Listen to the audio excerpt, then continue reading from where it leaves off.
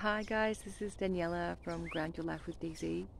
It's summer here in Melbourne, but it's actually quite chilly today, so I'm just grounding next to a tree here and thought I would do a really quick video um, just in discussing the importance of uh, utilizing trees and, and just soil in general, connecting with the earth. So I try every day to connect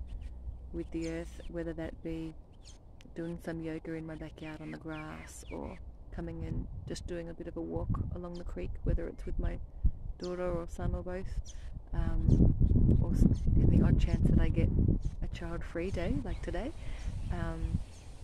sitting down against a tree and really um, using that to meditate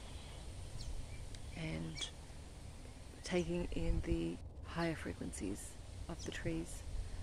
So I know it's a bit of a um, a joke that people sort of say tree huggers, but yes, I'm I'm a tree hugger or I'm a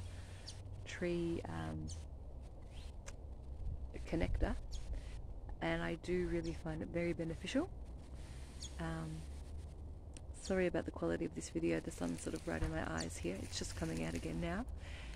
and just a reminder really to connect with the trees, the earth, and take your shoes off